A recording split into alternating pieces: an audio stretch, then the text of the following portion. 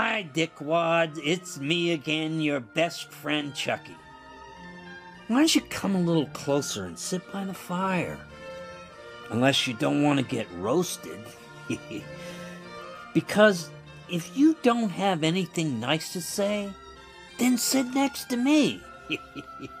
Each week, with a little help from some people that work for me on my smash hit TV show named after me, we'll take a more in depth look at the genius of my mind.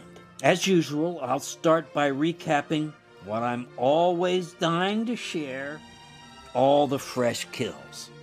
This week, I went back to the basics and thought more inside the box with a good old fashioned strangling. Oh, and there's this doll, Chucky. He's alive? I don't know, how can a doll be alive? The whole idea kind of violates everything I believe in, right? Mm, yes, right. He had a chance to listen to her, but he choked. I've killed dads before, but this is my first father. I gotta confess, I never pass up an opportunity to kill a douchebag like this guy.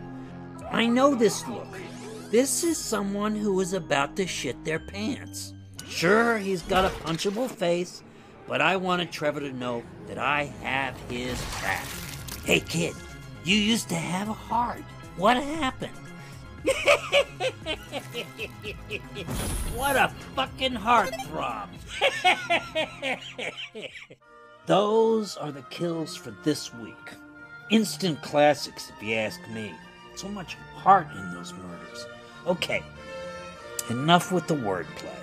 And now, we'll go through the whole rest of the episode. Take it away, assholes.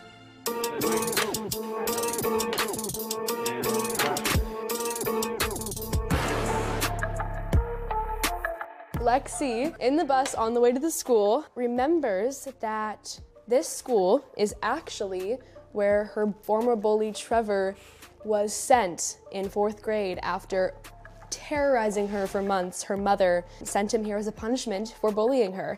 And I think that Trevor is the only person that Lexi's really been scared of other than Chucky.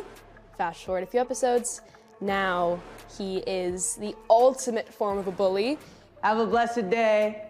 And is trying to frame Lexi for doing drugs at the school in her drawer, and that goes horribly wrong Yes. as But Chucky is have- there ready to pull his heart out of his chest, which is such an epic moment.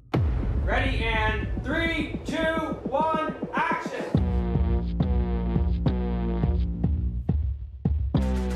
It's one of my favorite deaths in the whole show. It's so cool.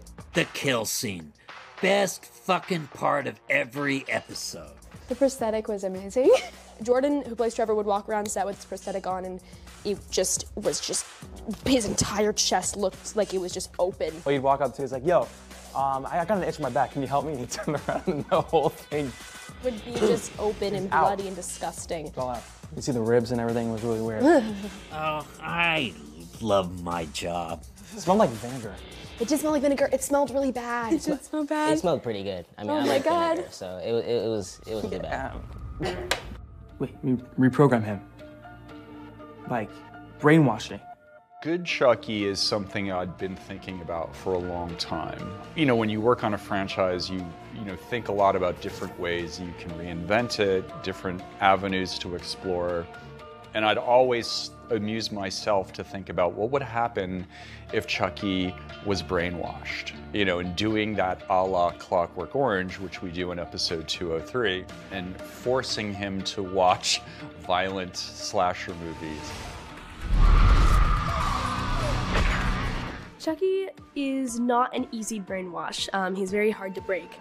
We try to play horrible videos for him to get him to be disgusted by the thought of murder. just getting him to a point like Malcolm McDowell in Clockwork Orange, where the thought of violence sickens him. I just always thought that was a funny idea. I am a little hesitant in watching him vomit because vomit is gross, but I am excited to see how they do it. I'm a little wary though. Three, two, one, He ends up projectile throwing up, and that thing, they, they hooked up this hose to the inside of Chucky and they covered him with like a trash bag. When I tell you it's a projectile, that thing shot so far, like the pressure was like amazing. It is the grossest thing you've ever seen. And then we go into stage two and show him puppies and kittens and rainbows and turn him into a good guy. I did get to hear my dad doing these different voices, some of which actually sounded a little more like my real father. Hi, I'm Chucky. Wanna play? And it's always, it's always almost an ineffable experience. It feels kind of comforting and also weird, you know. Oh, he would just suddenly get on the ground and crawl up to somebody and they'd be terrified, and what he was doing was retying their shoe.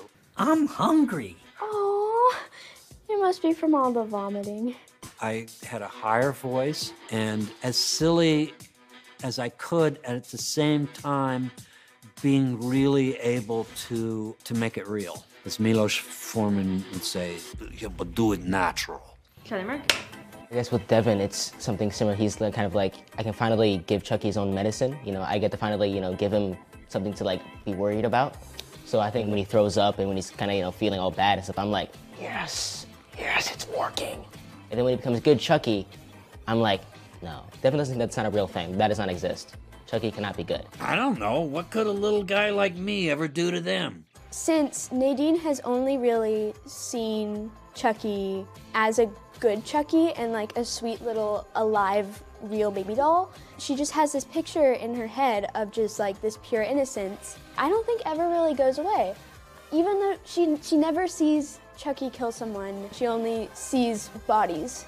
So I feel like Nadine just has a very distorted perspective of what Chucky is. Playing Chucky as, as somebody good is really fun because he's not. It's an odd, almost irreverent and, and campy, and, and it was really fun. Cause he's just like he's so like cute. I don't know. I find him really cute. Sure. I He is like him. Good Chucky? Sure. I'm good at strangling, stabbing, electrocuting, clobbering, slash.